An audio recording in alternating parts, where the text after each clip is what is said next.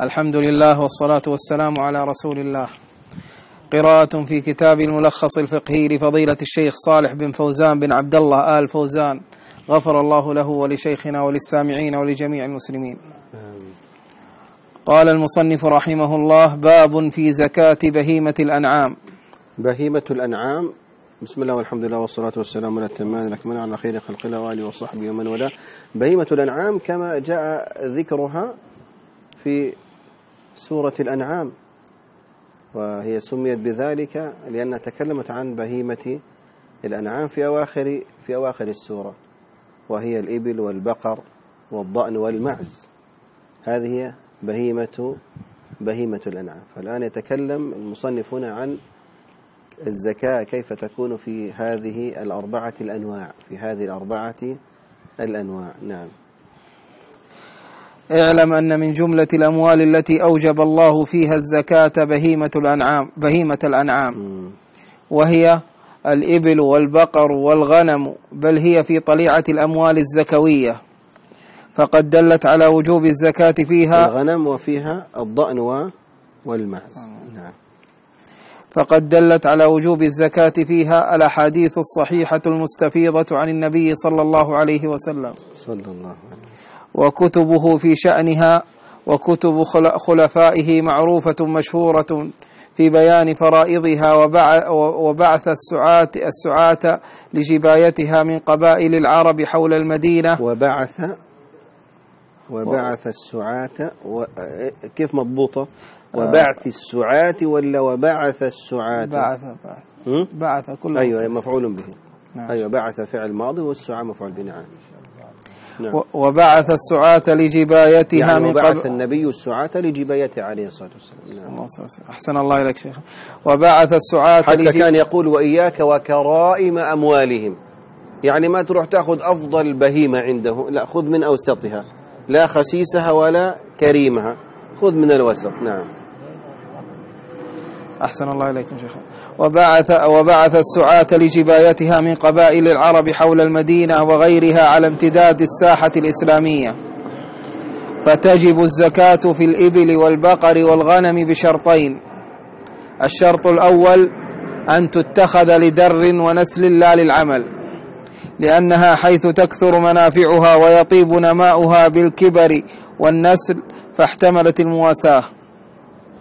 الشرط الثاني أن تكون سائمة أي راعية. إذا من لديه بهيمة أنعام ليس لغرض الدر والنسل إنما لاستعماله الشخصي هذه لا زكاة فيها.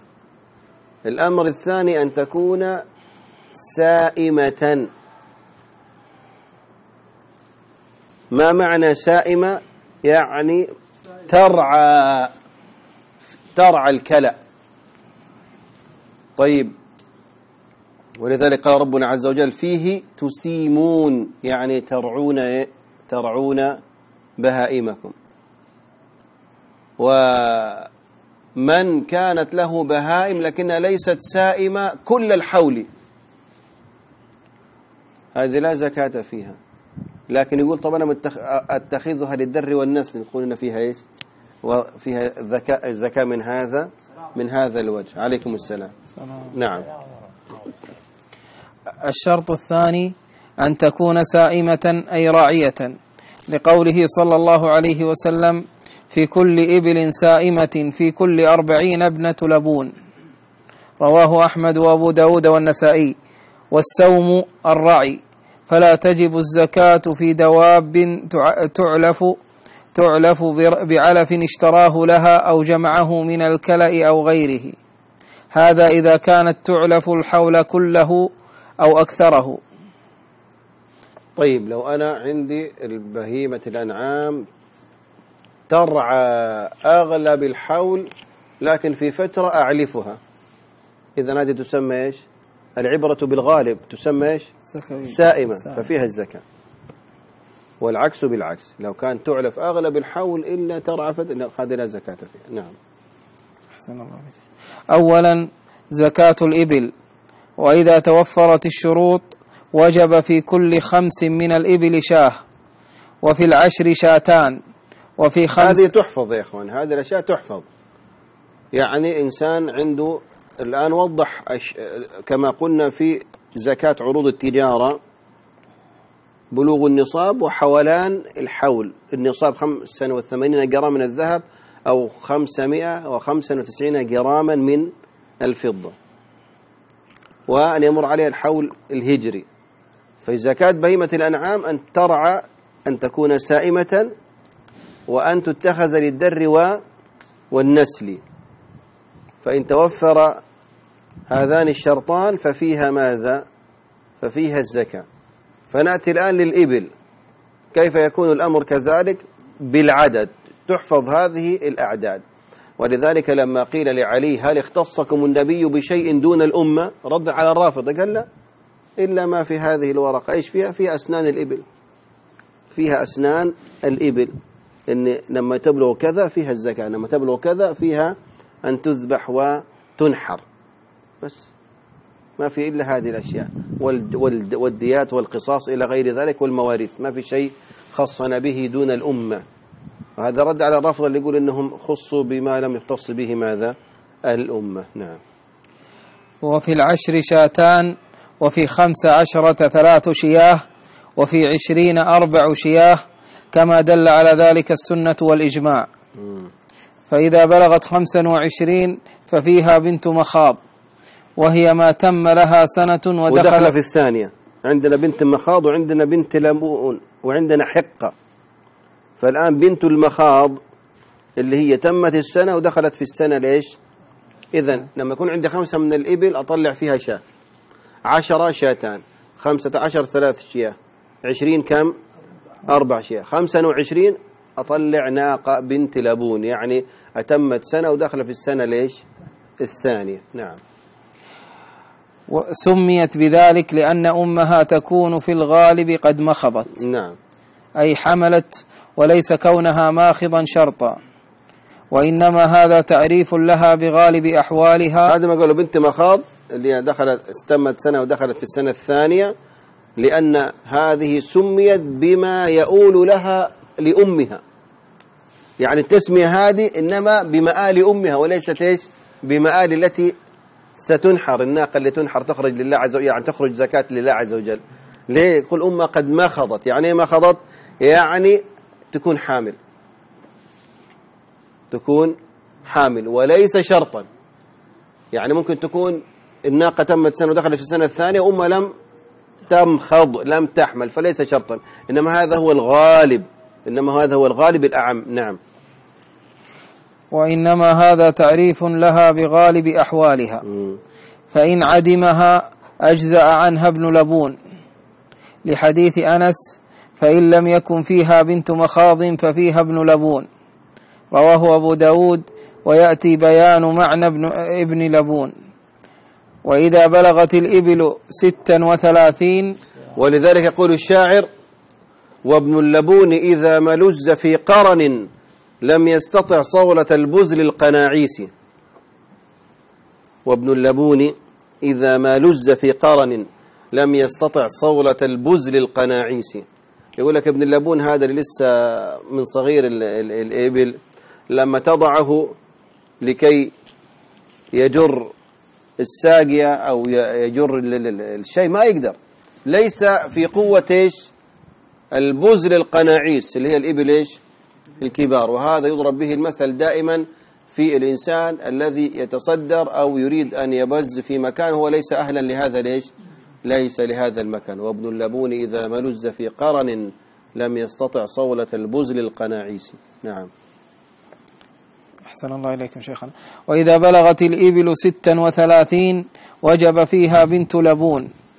لحديث أنس وفيه فإذا بلغت ستا وثلاثين إلى خمس وأربعين ففيها بنت لبون أنثى. وكما دل على ذلك الإجماع وبنت اللبون هي ما تم لها سنتان. لهذا سميت بذلك لأن أمها تكون في الغالب قد وضعت حملها فكانت ذات وترضع مولودها. نعم. من اللبون من اللبن. نعم. فكانت إذا بنت مخاض سنة ودخلت في الثانية. بنت اللبون سنتان ودخل فين؟ في الثالثة. وكذلك ابن اللبون سنتان ودخل فين؟ في الثالثة. هذا كله تسمية بحال ومآل أمه. نعم. فكانت ذات لبن وليس هذا شرطا لكنه تعريف لها بالغالب. مم. فإذا بلغت الإبل ستا وأربعين وجب فيها حقة. وهي ما تم لها ثلاث سنين. سميت بذلك لأنها بهذا السن استحقت أن يطرقها الفحل وأن, يح وأن يحمل عليها وتركب. شوف يا أخي الدين هذا دين عظيم. يعني لا ابن اللبون ولا بنت اللبون ولا ابن المخاض ولا بنت المخاض يحمل عليها. لأنه ما يتحمل. لما يوصل ثلاث سنين داخل في الرابع يبدأ أنه هو إيش؟ يحمل عليها. يحمل عليه. تقول لي رفق بالحيوان؟ هذا هو. ولذلك إحنا مشكلتنا إنما أوتينا من جهلنا. لو نحن نسبر غور ما نحن فيه من الدين وهذه الكنوز يرد على كل هؤلاء الذين يتكلمون عن ما يسمى بالرفق بالحيوان. والرفق بالحيوان أصلا ما كمل 150 سنة.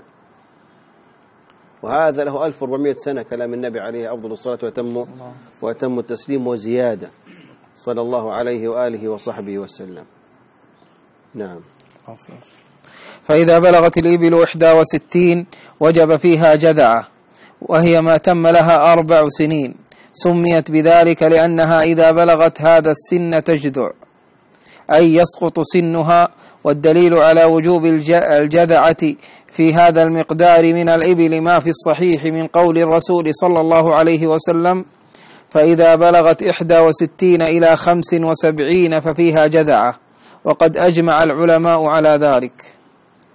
فإذا بلغ مجموع الإبل ستا وسبعين وجب فيها بنت لبون اثنتان لح- للحديث الصحيح وفيه فإذا بلغت ستا وسبعين إلى تسعين ففيها بنت لبون.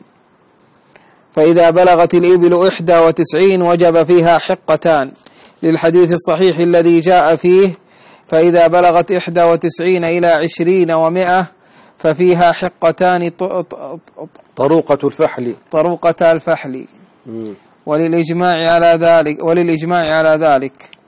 فإذا زاد مجموع الإبل على عن مئة وعشرين بواحدة وجب فيها ثلاث بنات لبون لحديث الصدقات الذي كتبه النبي صلى الله عليه وسلم ولفظه فإذا زادت عن على عشرين ومئة ففي كل خمسين حقة وفي كل أربعين وفي كل أربعين بنت لبون. ثم يجب على كل أربعين بنت لبون وعن كل خمسين حقة. ثانيا زكاة البقر. وأما البقر فتجب فيها الزكاة بالنص والإجماع. ففي الصحيحين عن جابر سمعت رسول الله صلى الله عليه وسلم يقول ما من صاحب إبل ولا بقر ولا غنم لا يؤدي زكاتها إلا جاءت يوم القيامة أعظم ما كانت وأسمنه تنطحه بقرونها وتطأه بأخفافها. وقد ثبت عن معاذ رضي الله عنه أن النبي صلى الله عليه وسلم لما بعثه إلى اليمن أمره أن يأخذ صدقة البقر من من كل ثلاثين تبيعا ومن كل أربعين مسنة. رواه أحمد والترمذي. فيجب فيها إذا بلغت ثلاثين تبيع أو تبيعة فقد تم لكل منهما سنة ودخل في السنة الثانية. سمي بذلك لأنه يتبع أيوه. أحسن الله لأنه يتبع أمه في السرح. ولا شيء فيما دون الثلاثين. لحديث معاذ قال أمرني رسول الله صلى الله عليه وسلم حين بعثني إلى اليمن ألا آخذ من البقر شيئا حتى تبلغ ثلاثين. فإذا بلغ مجموع البقر أربعين وجب فيها بقرة مسنة. وهي ما تم لها سنتان لحديث معاذ قال وأمرني رسول الله صلى الله عليه وسلم أن آخذ من كل ثلاثين من البقر تبيعا أو تبيعة ومن كل أربعين مسنة. رواه الخمسة وصححه ابن حبان والحاكم. فإذا زاد مجموع البقر على أربعين وجب في كل ثلاثين منها تبيع وفي كل أربعين مسنة. والمسنة هي التي قد صارت ثنية سميت مسنة لزيادة سنها ويقال ويقال لها ثنية. ثالثا زكاة الغنم. الأصل في وجوب الزكاة في الغنم السنة والإجماع. ففي الصحيح عن أنس أن أبا بكر كتب له هذه هذه فريضة الصدقة التي فرضها رسول الله صلى الله عليه وسلم على المسلمين والتي أمر الله بها رسوله. إلى أن قال وفي صدقة الغنم في سائمتها إذا كانت أربعين إلى عشرين ومائة شاة. الحديث. فإذا بلغ مجموع الغنم أربعين أربعين ضأنا أو ما ضأنا كانت أو معزا ففيها شاة واحدة.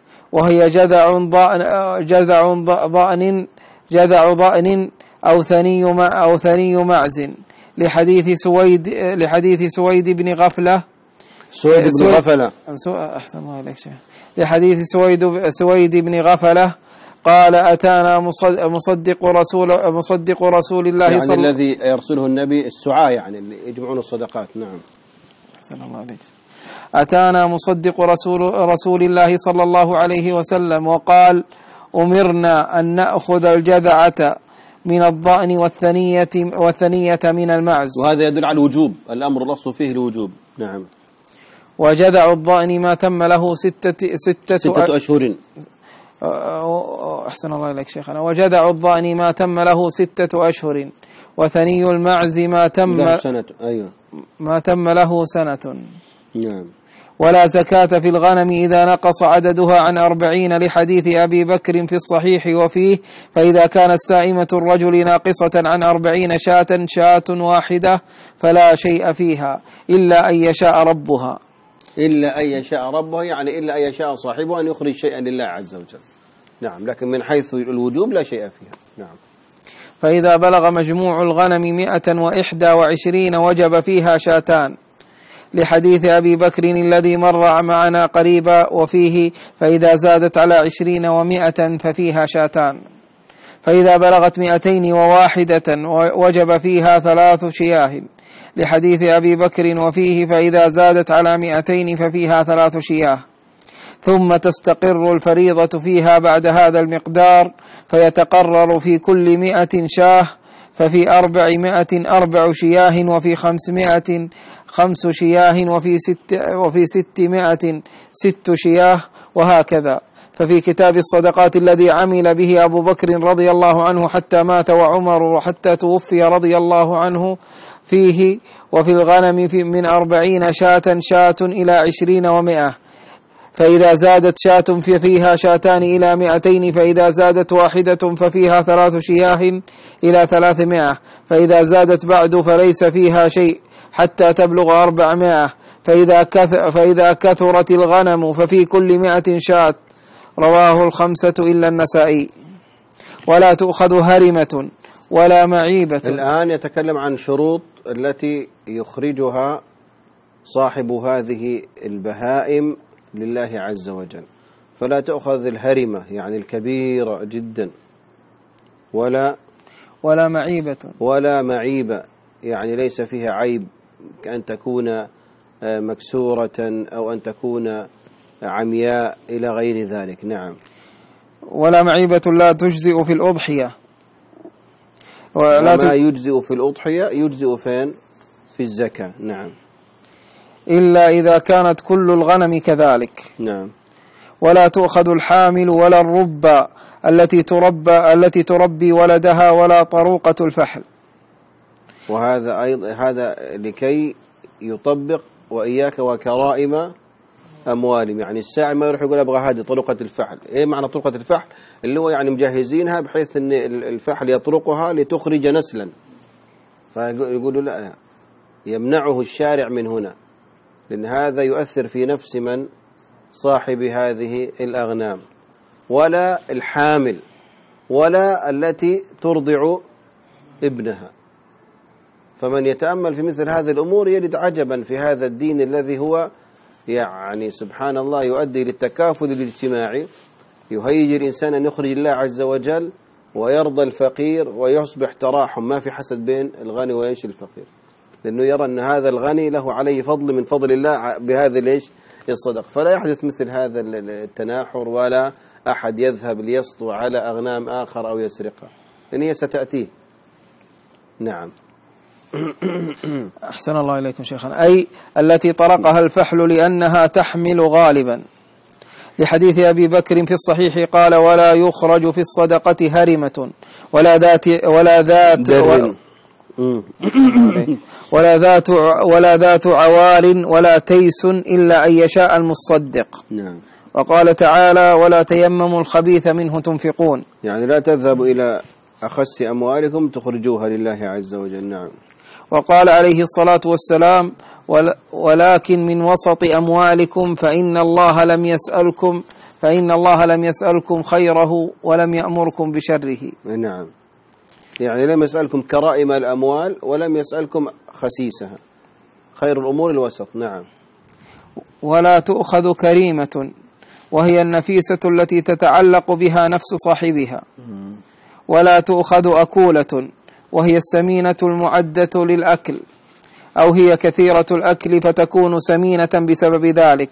قال صلى الله عليه وسلم لمعاذ بن جبل رضي الله عنه لما بعثه إلى اليمن إياك وكرائم أموالهم. متفق عليه.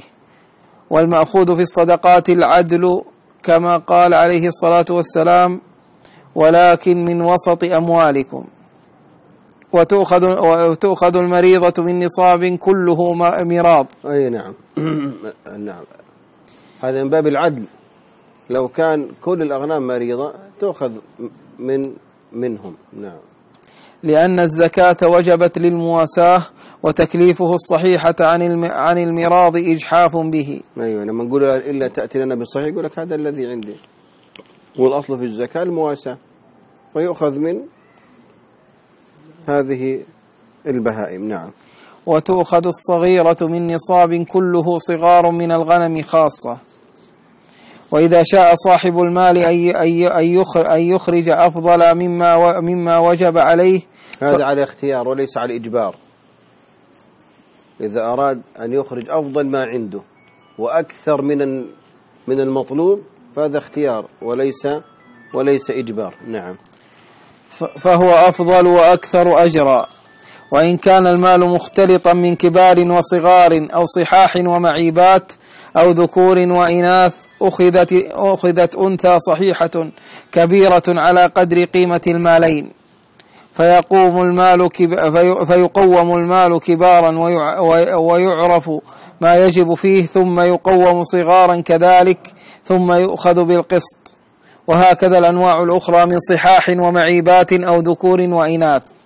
فلو كانت قيمة المخرج من الزكاة إذا كان النصاب كبارا صحاحا عشرين وقيمته إذا كان صغارا مراضا عشرة فيخرج النصف من هذا والنصف من هذا. يعني خمسة عشر أي نعم. أي ما يساوي خمسة عشر. نعم. ومن مباحث زكاة الماشية معرفة, معرفة حكم, حكم الخلطة فيها. بأن يكون مجموع الماشية المختلطة مشتركا بين شخصين فأكثر. والخلطة والخلطة نوعان. يعني يكون البهائم دي شركة. ليست خالصة لزيد. لا زيد وعمر وعلي مشتركون في هذه البهائم. نعم. يعني الزربة هذه كلهم مشتركين في أكثر من إيش؟ من واحد. نعم. النوع الأول خلطة أعيان. بأن يكون المال مشتركا مشاعا بينهما. لم يتميز نصيب أحدهما عن الآخر كأن يكون لأحدهما نصف هذه الماشية أو ربعها ونحوه. النوع الثاني خلطة أوصاف. بأن يكون نصيب كل منهما متميزا معروفا لكنهما متجاوران. وكل واحدة من الخلط من الخلطتين تؤثر في الزكاة إيجابا وإسقاطا وتغليظا وتخفيفا. فالخلطة بنوعيها تصير المالين المالين المختلطين كالمال الواحد بشروط. الأول أن يكون المجموع نصابا. فإذا نقص عن النصاب لم يجب فيه شيء. والمقصود يعني لو أن زيدا له بهائم مع عمرو وبمجموعهما أقل من النصاب. فهذا لا لا زكاة فيها. بمجموعهما بلغ النصاب يكون فيها الزكاة. نعم. والمقصود أن يبلغ المجموع النصاب ولو كان ما ولو كان ما ما لكل واحد ناقصا عن النصاب. نعم. الشرط الثاني أن يكون الخلي الخليطان من أهل من أهل وجوب الزكاة. فلو كان أحدهما ليس من أهل الزكاة كالكافر لم تؤثر الخلطة.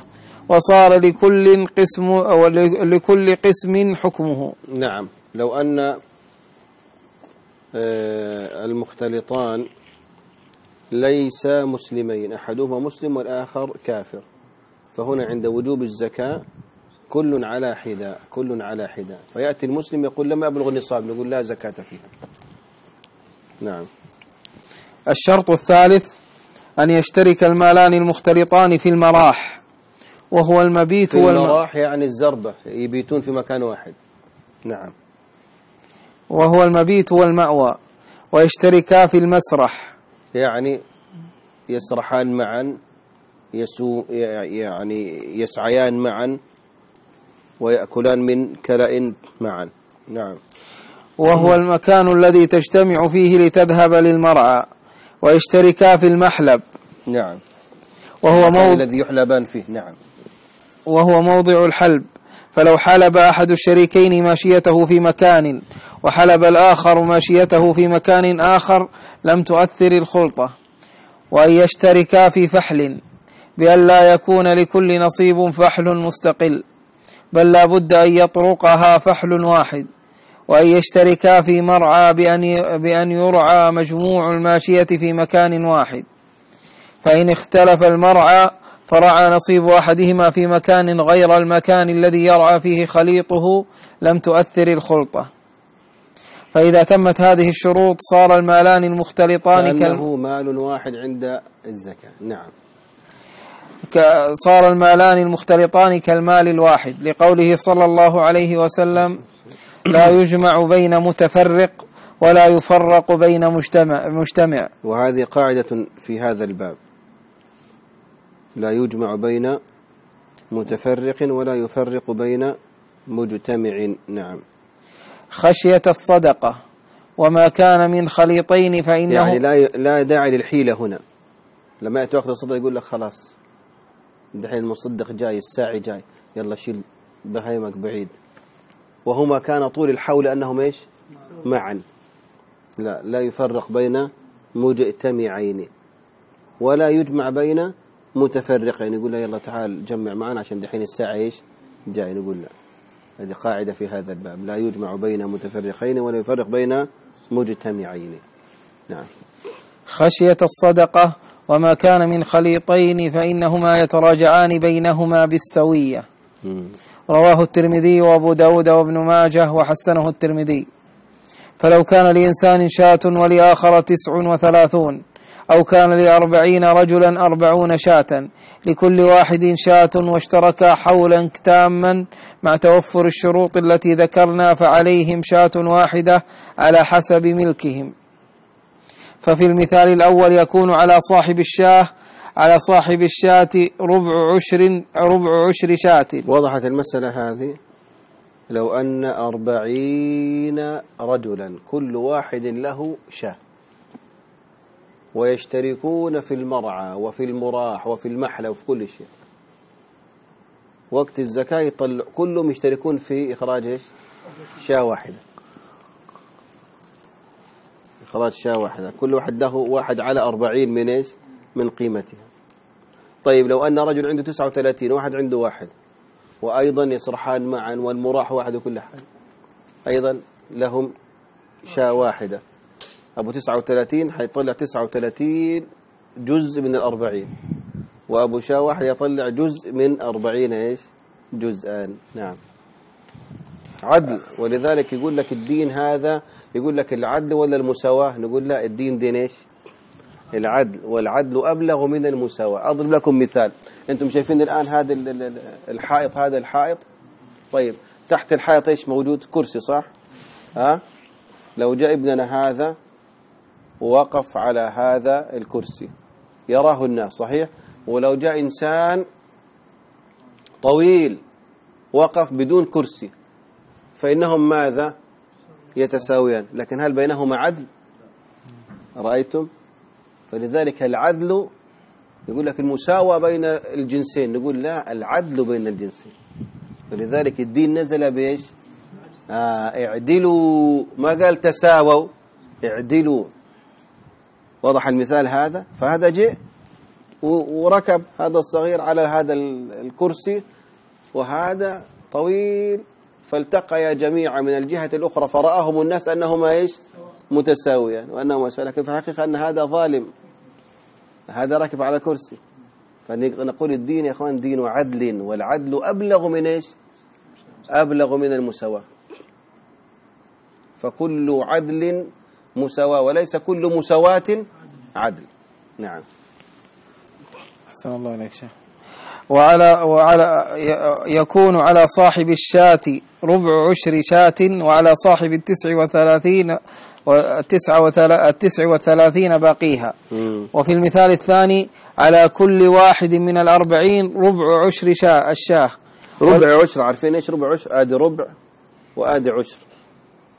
يعني واحد على أربعين. هذه معنى ربع إيش؟ ربع عشر. عشرة في أربعة بأربعين واحد في واحد واحد واحد, واحد على أربعين. يعني جزء من أربعين إيش؟ هذا معنى ربع عشر. نعم. ولو كان لثلاثمائة لثلاثمائة ثلاثمائة وعشرون لكل واحد أربعون فعلى الجميع شاة واحدة أثلاثا. وكما أن الخلطة تؤثر على النحو الذي رأيت فكذلك التفريق يؤثر عند الإمام أحمد.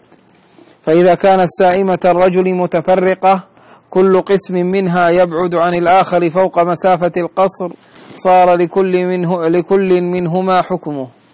ولا تعلق ولا تعلق له بالآخر. فإن كان يعني لو أن رجلا عنده نقول مئة وعشرين شاة. لكن تسعة وثلاثين في الليث وتسعة وثلاثين في مكة وتسعة وثلاثين في جدة. نقول ولا واحدة فيها زكاة بحدث لأن التفرق غير الإمام أحمد وفي رواية ثانية أنه هو يقول لك يجمع ويطلع. لكن قال لك لا التفرق هنا مؤثر عند الإمام إيش؟ عند الإمام أحمد. شوف عدل الدين كيف سبحان الله. نعم. فإن كان نصابا وجبت فيه الزكاة وإن نقص عن النصاب فلا شيء فيه. نعم. فلا يضم كل قسم إلى الآخر. هذا قول الإمام أحمد. نعم. وغيره يقول لا طالما هو مالكها واحد العبرة بمن؟ بالملك لا بالتفرق والمراح والمرعى. فيجمع ويطلع إيش؟ الزكاة. نعم. وقال جمهور العلماء بعدم تأثير الفرقة في أسوة باللي عنده فلوس. حاضت في البنك الفلاني فلوس وهنا وهنا. لما بيجي يطلع الزكاة إيش بيسوي؟ يجمع كله ويطلع إيش؟ ويخرج زكاته. نعم. هذا الأقرب. هذا الأقرب إن شاء الله. هذا الأقرب. نعم. أيوه. وقال جمهور العلماء بعدم تأثير الفرقة في مال الشخص الواحد نعم. فيضم بعضه إلى بعض في الحكم. حتى رجل عنده ذهب وعنده فضة. والذهب والفضة ما بلغوا النصاب لكن إذا اجتمع بلغوا النصاب يقول لك لا تجتمع. زي واحد عنده دولار وعنده ريال وعنده دينار وعنده درهم.